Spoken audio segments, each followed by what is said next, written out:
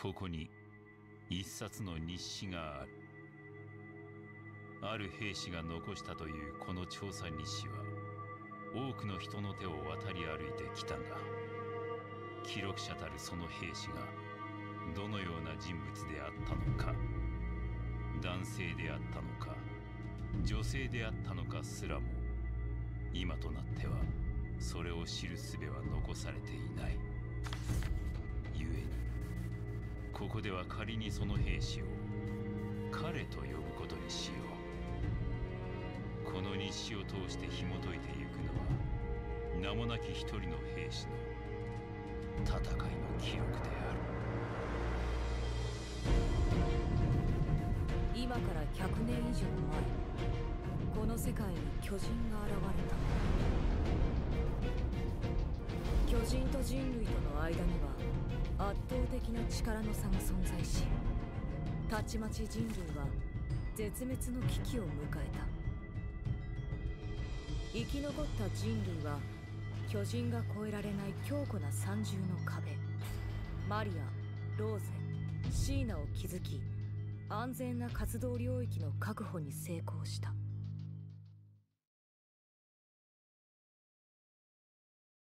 その日人類は思い出した。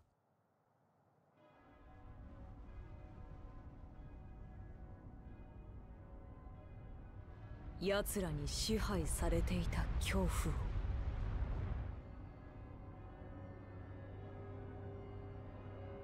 鳥かごの中に囚われていた屈辱を。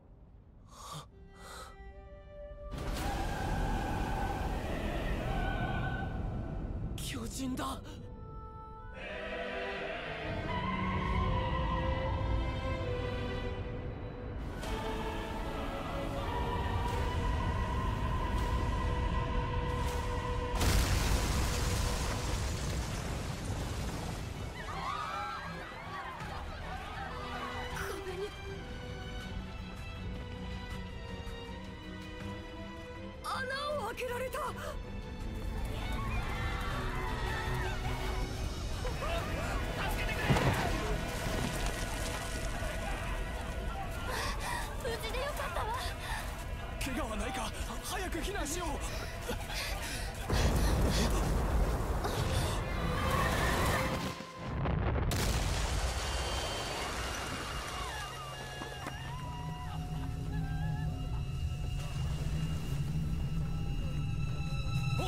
おい立てるか。船まで走るんだ。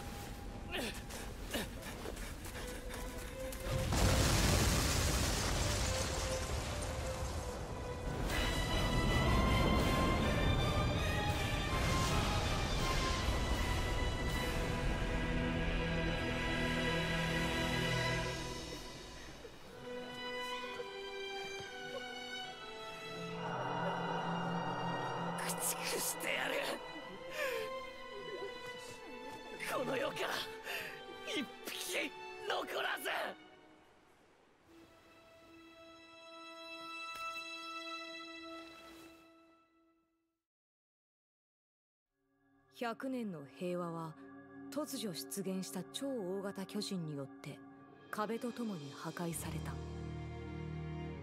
巨人の侵入を許した人類はウォールマリアを放棄。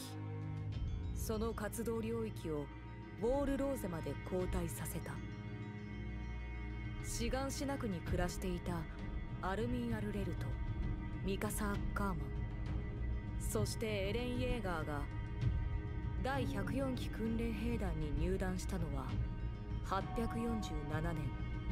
巨人の襲来から2年後のことだった。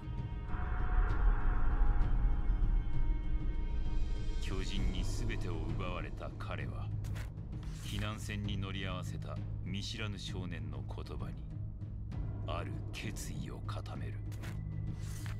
鎧の巨人への復讐を果たし故郷を取り戻す。その思いを遂げるため彼は第104期訓練兵団への入団を決めた。人類の活動領域を囲む壁には突出する半円形の区画が4箇所ずつ設けられている。この区画に人口を集めることで巨人の標的を絞り守備兵力を集約するためだ。そのうちの一つがウォールローゼ南方に位置するトロスト区である。トロスト区には中東兵団本部が存在し訓練兵は正式配属までの期間駐屯兵団と共にさまざまな任務に当たることになっていた。成績上位10名の中に彼の名前はなかったがもとより彼が志していたのは調査兵団だった。あの日からの5年間抱き続けた思いを遂げるためである。そんな彼もまた104期の同期たちと共にトロスト区での任務に励んで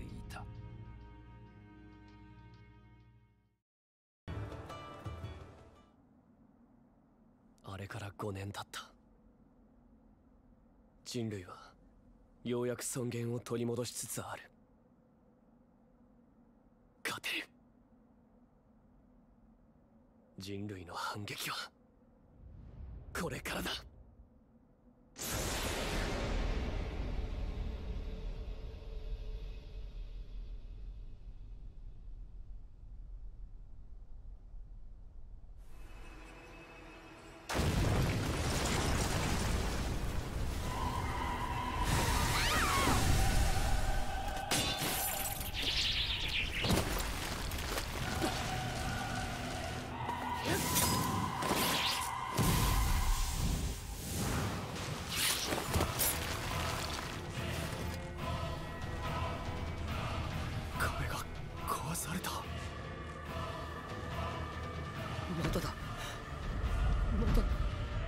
人が入ってくる。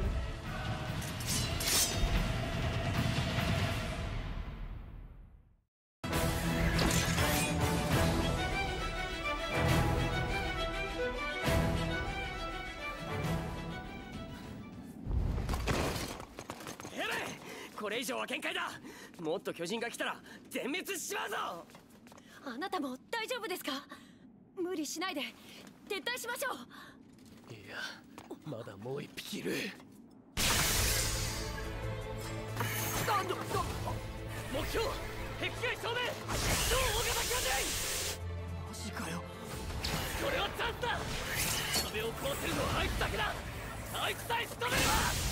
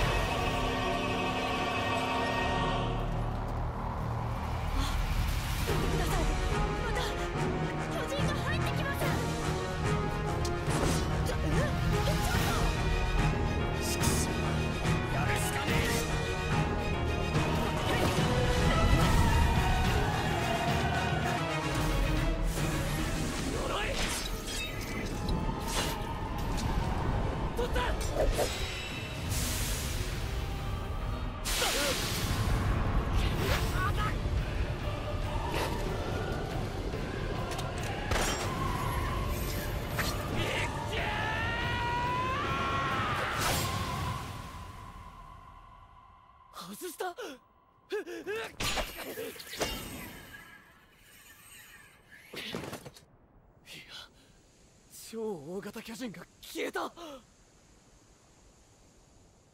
デレお前が倒しちまったのか。違う。5年前と同じだ。あいつは突然現れて突然消えた。すまん。逃した。何謝ってんだ。俺たちなんて全く動けなかった。何してる。超大型巨人出現時の作戦はすでに開始している。直ちに本部に戻れ。はう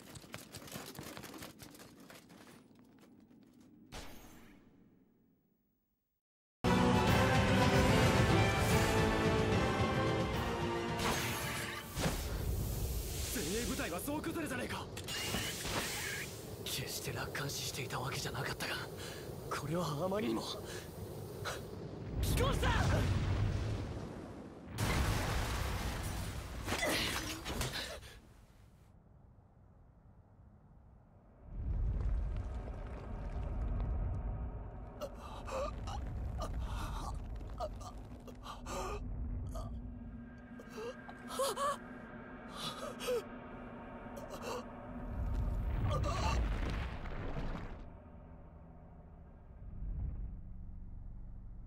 何しやがる！待ってよきもとや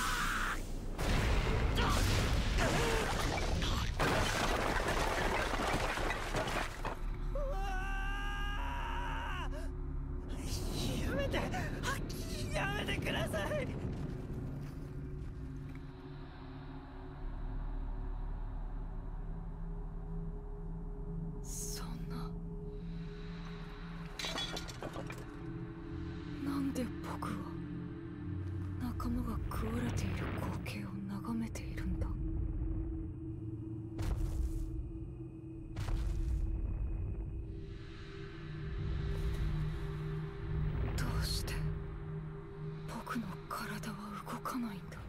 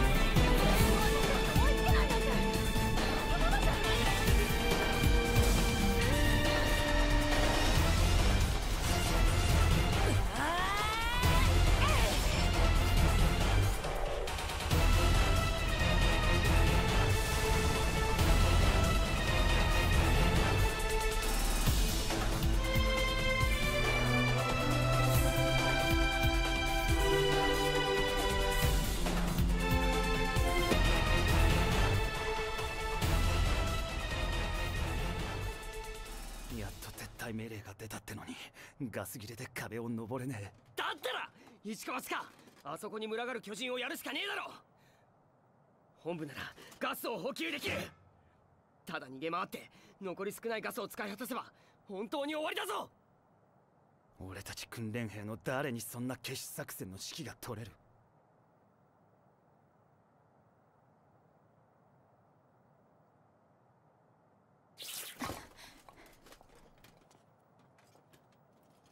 アルミ大丈夫なの？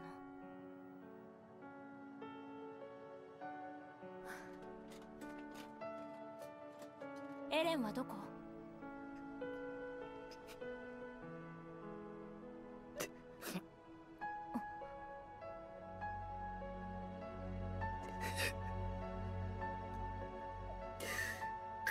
兵34班の5名は壮絶な戦死を遂げました。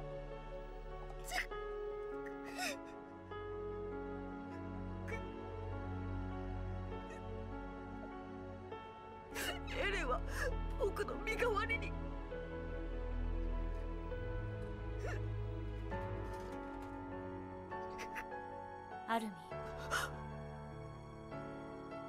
今は感傷的になっている場合じゃない。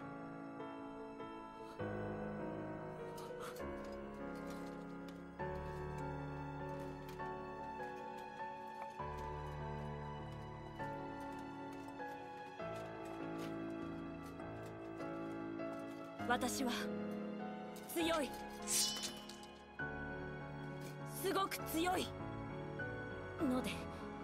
私なら一人でもあそこの巨人どもを蹴散らせる。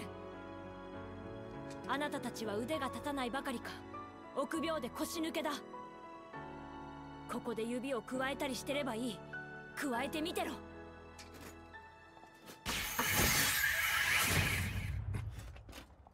あれで葉っぱかけたつもりでいやがる。おい！俺たちは仲間に一人で戦わせろと学んだか！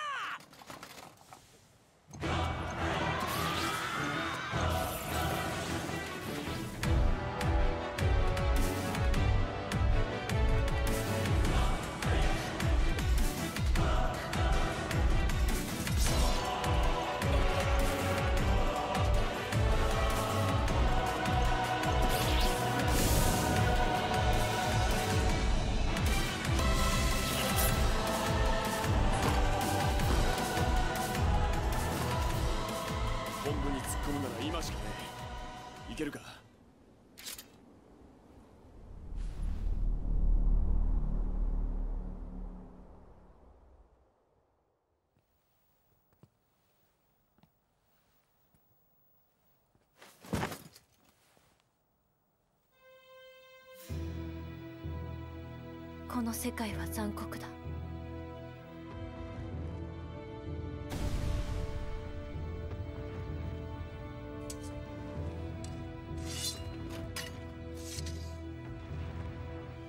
そしてとても美し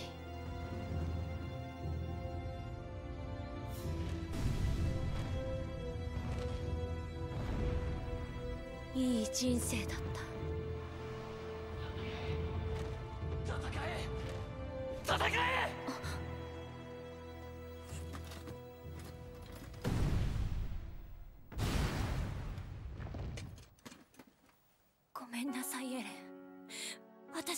諦めない。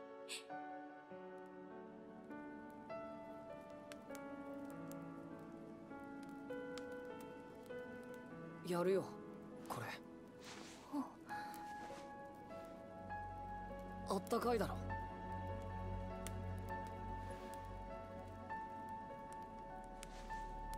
ほら早く帰ろうぜ。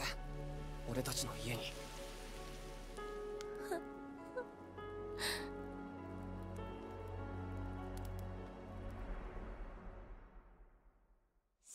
しまったらもう。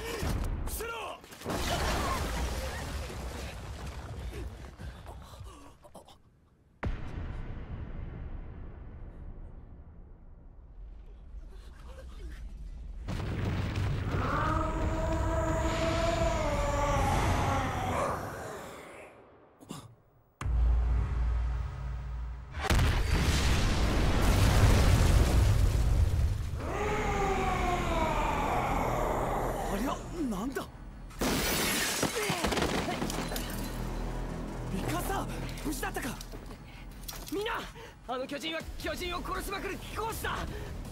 しかも俺たちには興味を示さない。あいつをうまいこと利用できれば俺たちはここから脱出できる。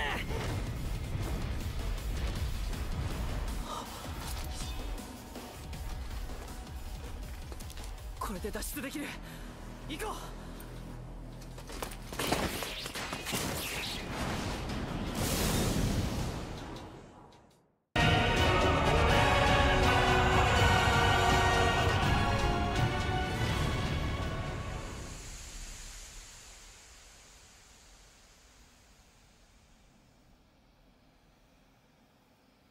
さすがに力尽きたみてえだな。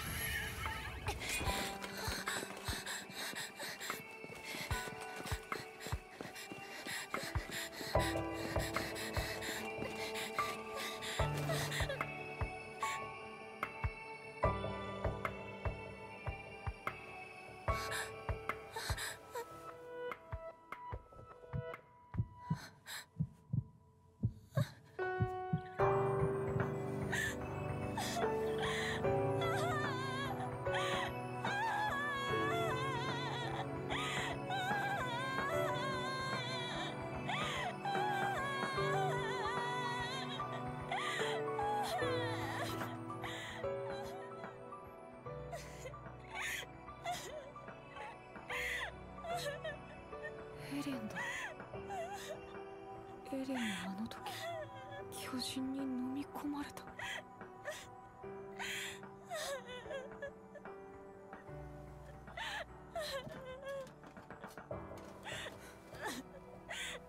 一体何が？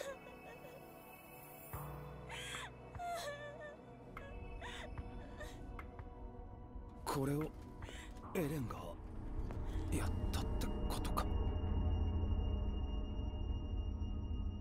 見ろ。これじゃ壁まで戻れねえぞ。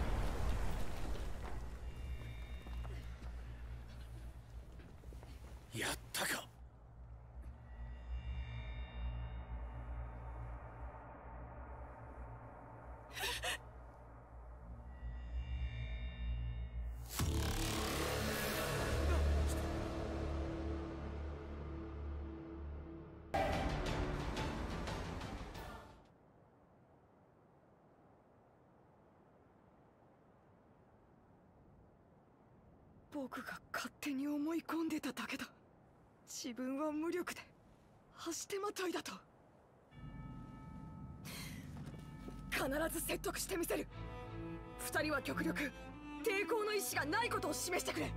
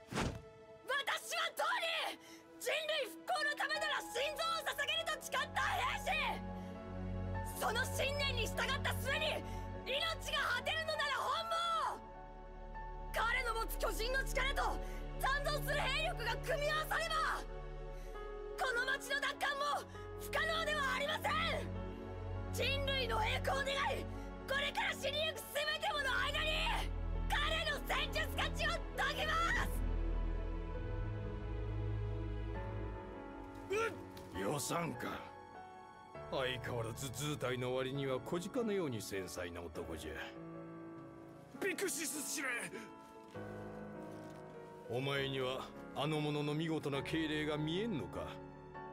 わしはあの者らの話を聞いた方がいい気がするのう。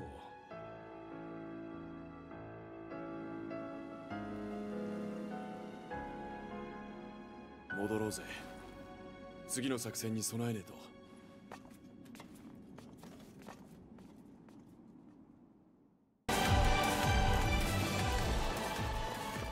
もうすぐ岩までの最短ルートだ。今見える限りでは巨人はいない。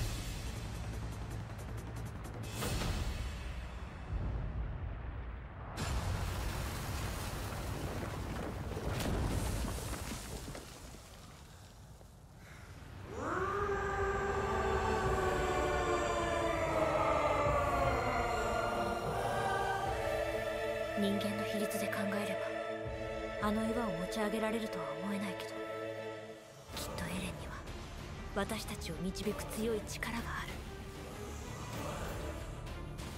る。エレン。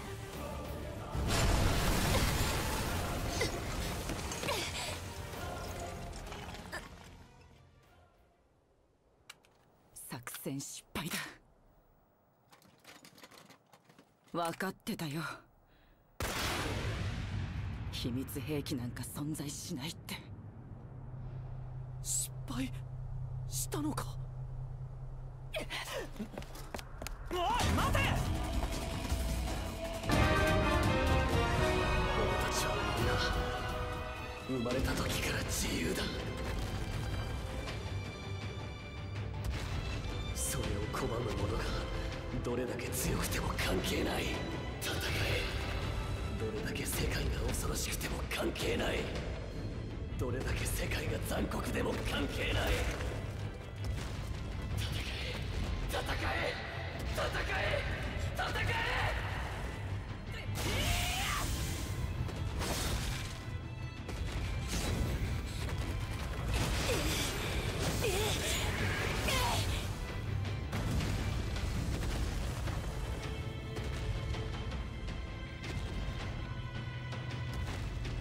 みん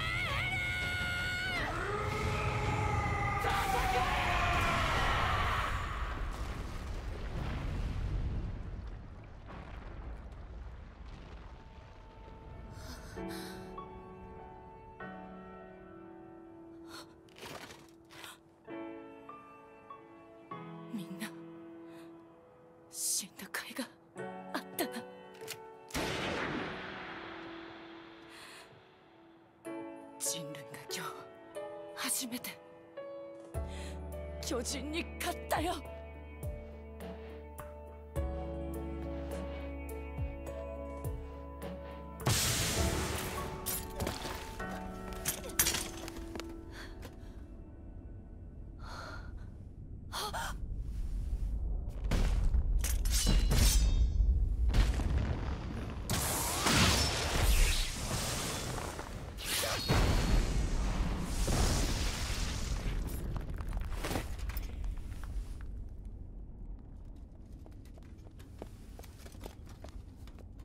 れは。自由の翼。おいガキども。これはどういう状況だ？ち手の空いてる奴は来い。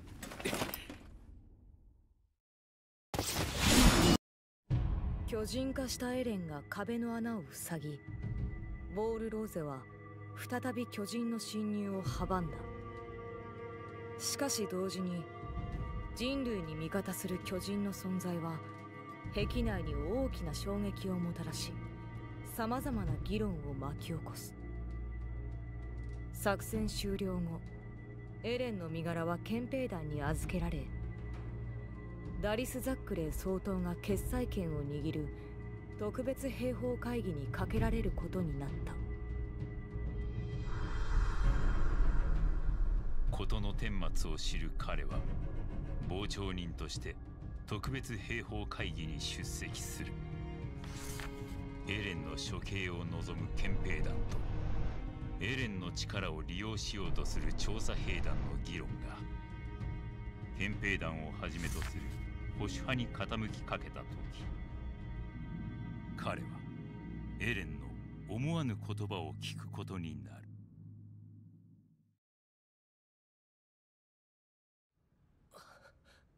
方巨人を見たこともないくせに何がそんなに怖いんですか？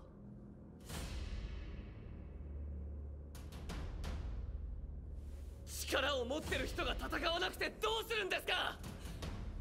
生きるために戦うのが怖いって言うなら力を貸してくださいよ！この腰抜けどもめ。いいから黙って全部俺に投資しろ構えろ。は。っ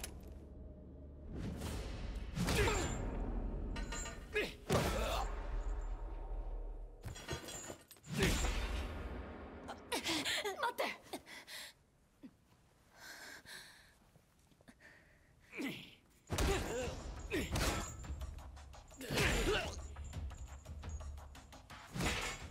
これは持論だがしつけに一番効くのは痛みだと思う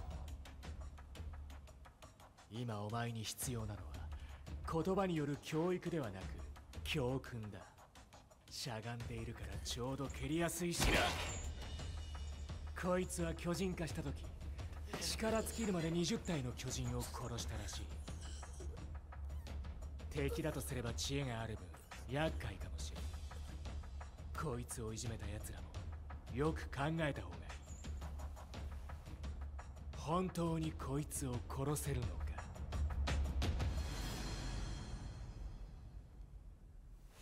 外ご提案があります。なんだ？エレンの巨人の力は不確定な要素を多分に含んでおり危険は常に潜んでいます。そこでエレンの管理をリヴァイ兵士長に任せその上で壁外調査に出ます。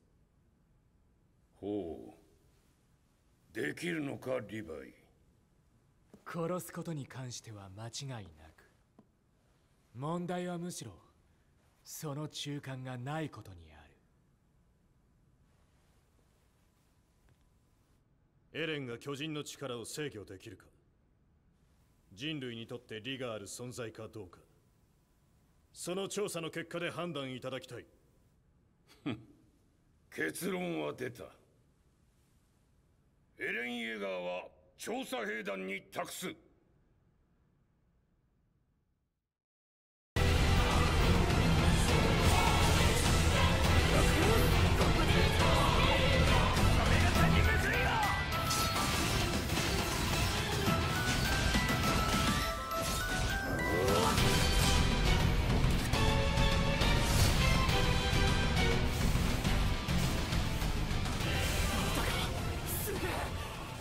の目型が一方的に。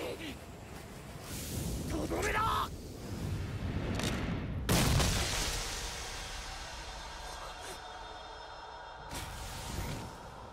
エルド！なんてよ！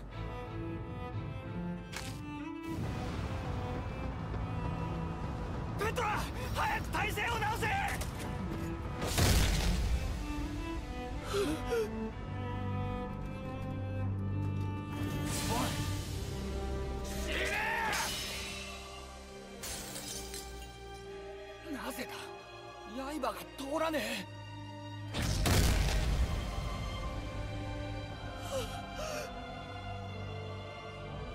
俺が選択を間違えたから。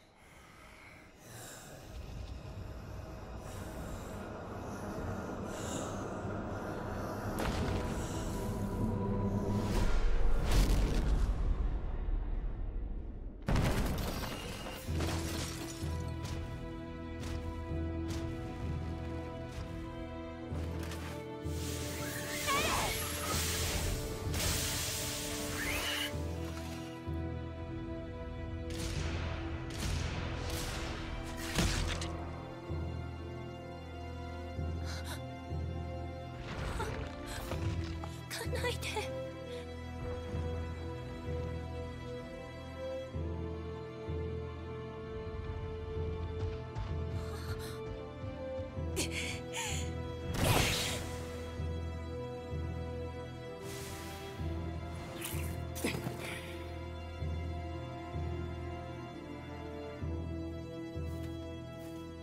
おいエレンはどこだ？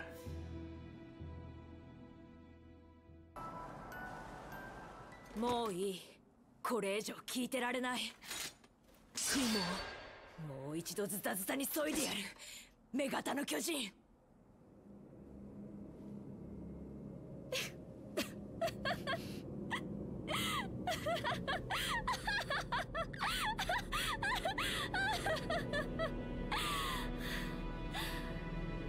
アルミ私があんたのいい人でよかったね。とまずあんたは賭けに勝った。でも私がかけたのはここからだから。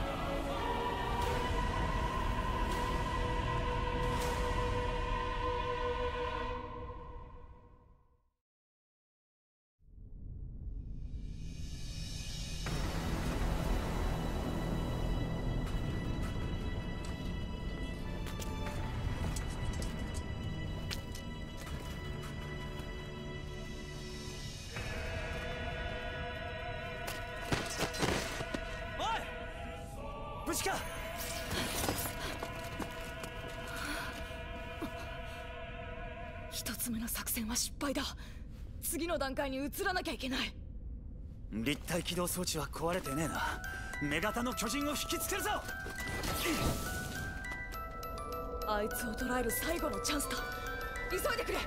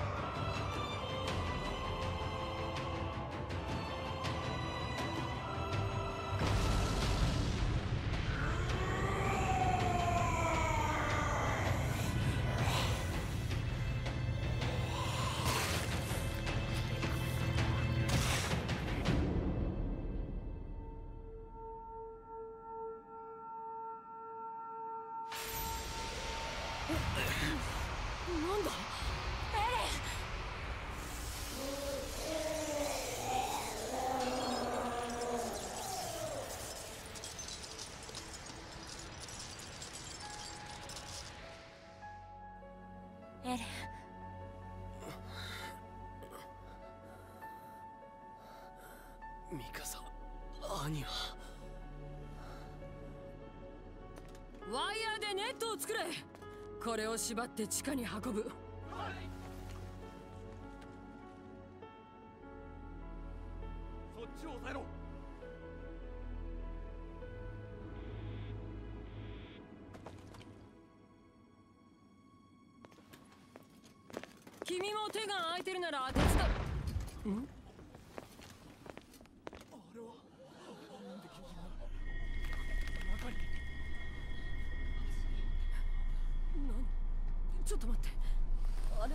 またまあそこだけにいたの。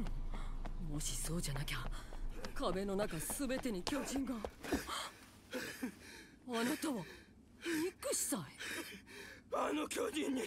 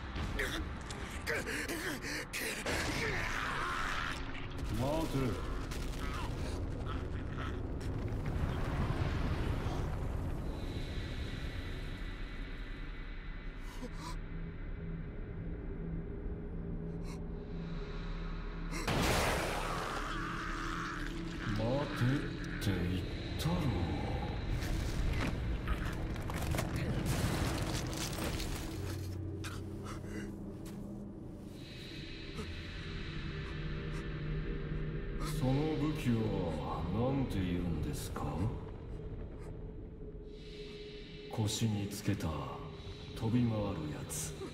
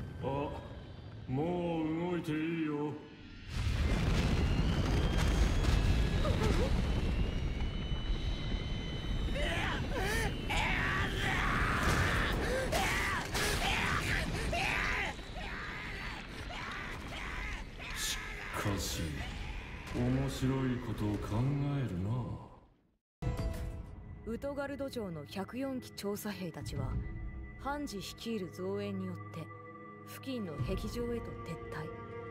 辛くも難を逃れた。そして巨人化能力者であることが明らかになったユミルは命がけで仲間を守ったこともありひとまず調査兵団の保護下に置かれることになった。そんな折壁の破壊箇所を捜索していた駐屯兵団の先遣隊から驚くべき知らせがもたらされたことを皮切りに。兵士たちはさらなる混乱の渦へと飲み込まれていくことになる。彼はウトガルド城での激戦を生き延び無事に壁上へと退避する。しかし仲間と無事を喜び合う彼を。思いもよらぬ裏切りと残酷な真実が待ち受ける。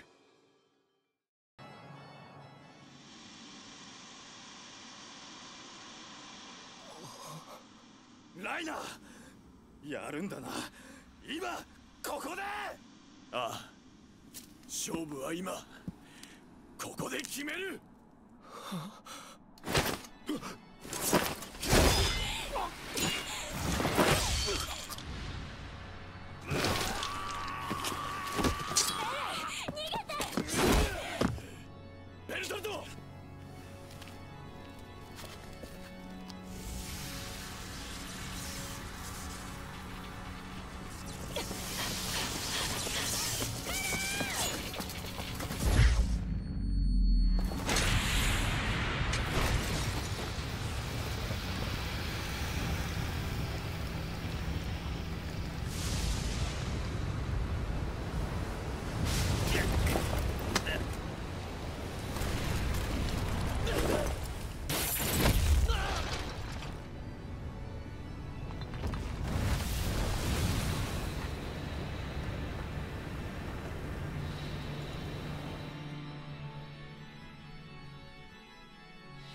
ライナーベルトルト。この裏切り者が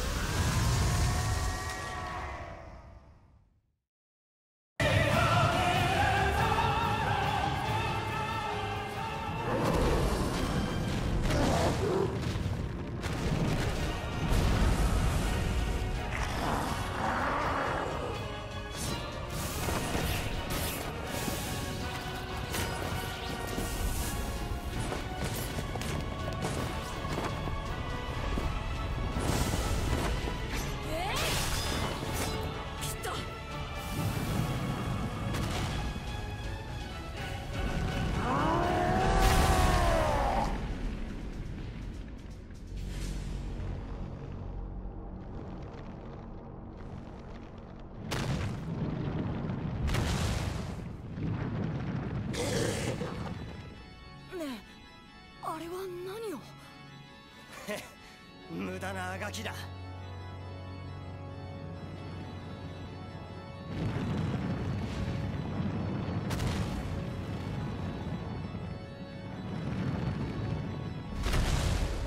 止まった。あの位置は。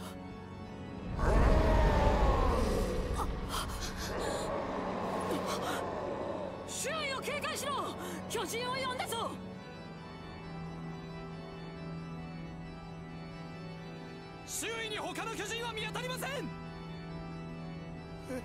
上だ！避けろ！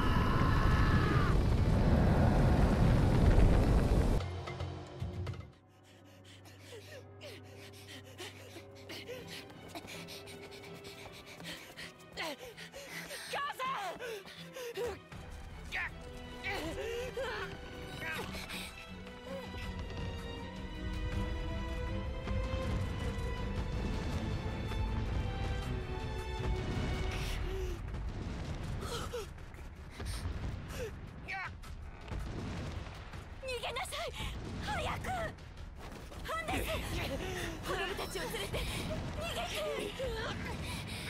逃げ見く。びってもらっちゃ困るぜ。確実に2人だけ助けるか。戦った全員助ける賭けに出るか。俺は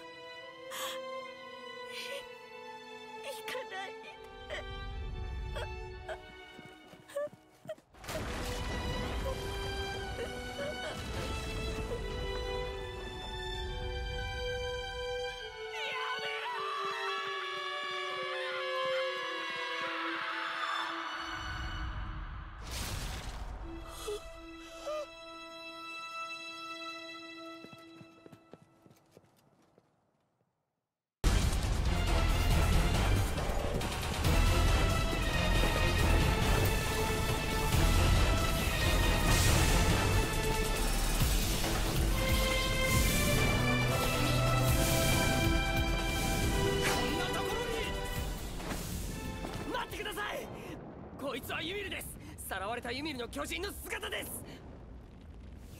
おいユミルどうしたんだお前だけ。エレンはどこだ？なぜ僕ら一人一人に目を向けるんだ？ユミルよかった。無事だったんだね。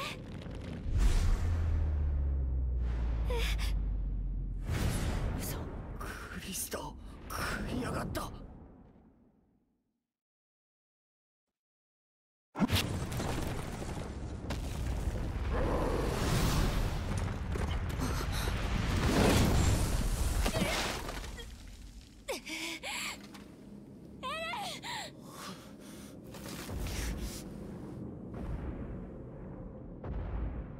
あいつはあの日母さんを食った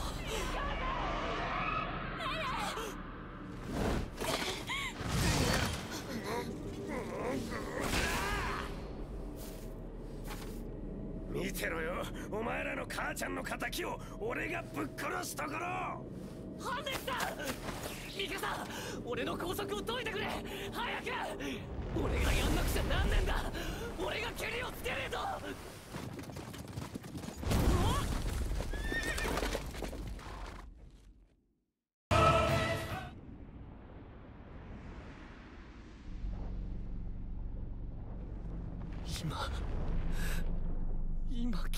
になれなきゃ意味ねえだろ。俺が今母さん俺は何も何にもできないままだったよ。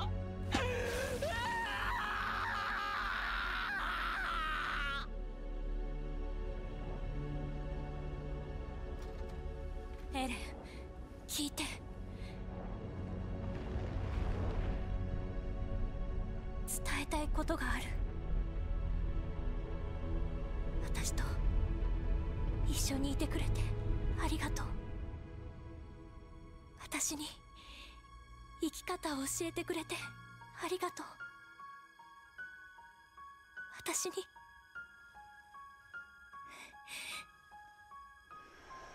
マフラーを巻いてくれて。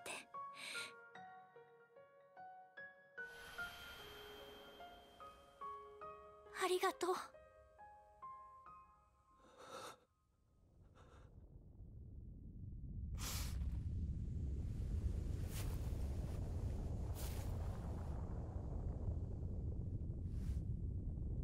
そんなもん何度でも巻いてやる。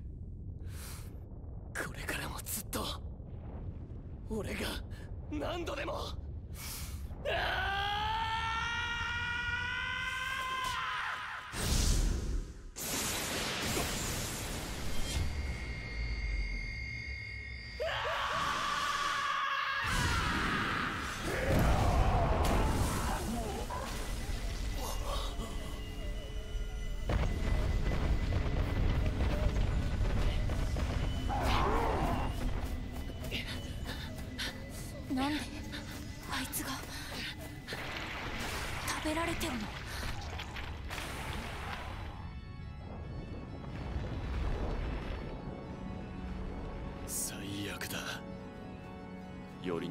座標が最悪のやつの手に渡っちまった。絶対に取り戻さねえと。この世で一番それを持っちゃいけねえのはエレン。お前だ。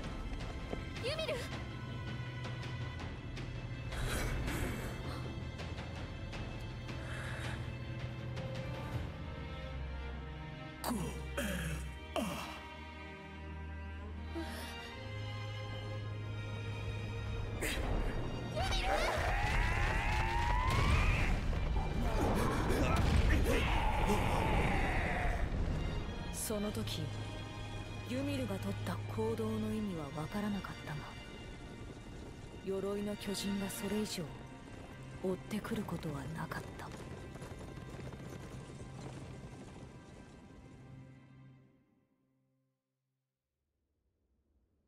ラガコ村での調査結果が出ました。ラガコ村出身の彼に確認してもらったのですがやはり今回出現した巨人の正体は村の住人である可能性が高いと思われます。つまり巨人の正体は人間であると。まだ確証はありませんが。エルビーお前何を笑ってやがる？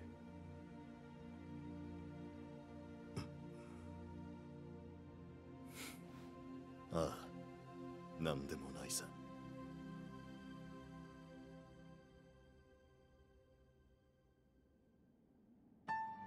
我々はいずれ突き破る。真実を隠している。壁を。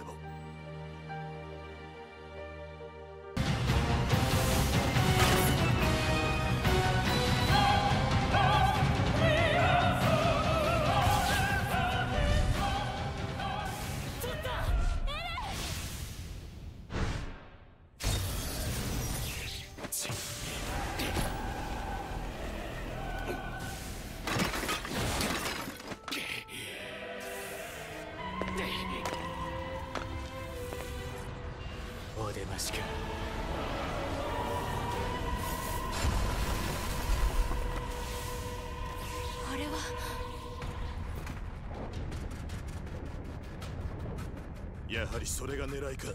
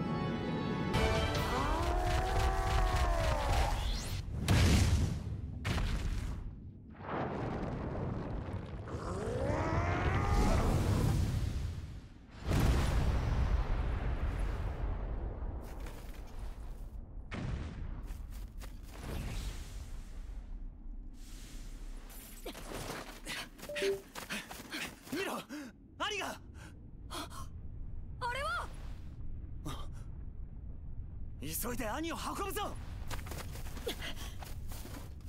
今は兄の奪還が優先だ。気持ちは痛いほどわかるけどこらえてくれ。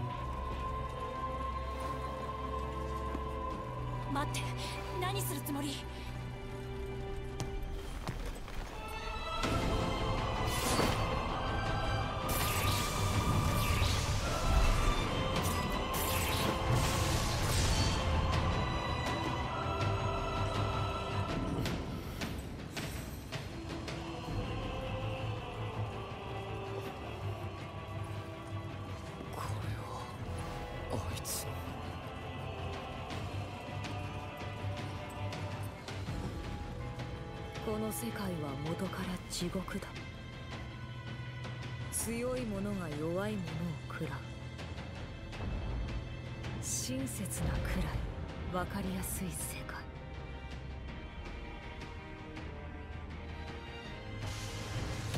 そんな残酷な世界で強くあろうとした者がいた。その兵士は最後まで戦い続けた。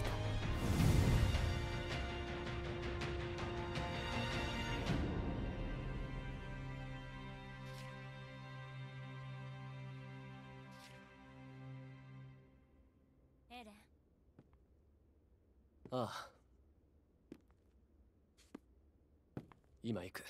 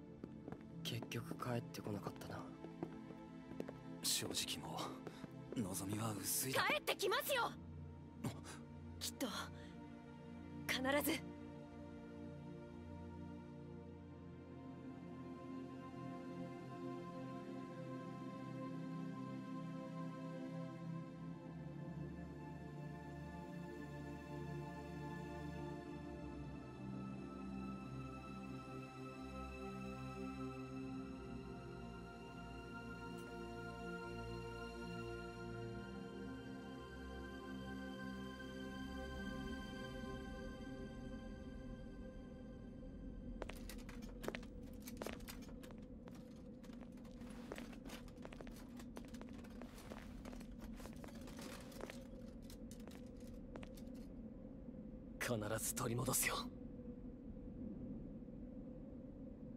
俺たちの故郷を。